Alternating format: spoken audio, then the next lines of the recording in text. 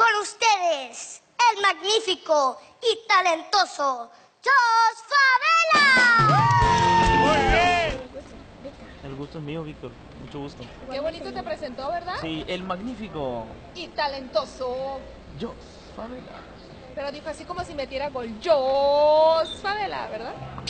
Lo más bonito en la vida es encontrar el camino y que hoy esté aquí sentado, tal destino. Como le explico, Señor, que aunque haya nacido en Chile, yo lo miraba en mi casa, en mi bonito Caitime.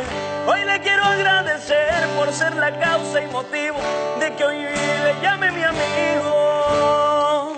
Muchas gracias, señor Mario.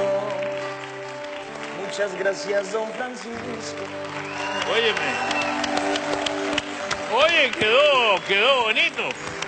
Gracias. Muchas gracias por esa canción.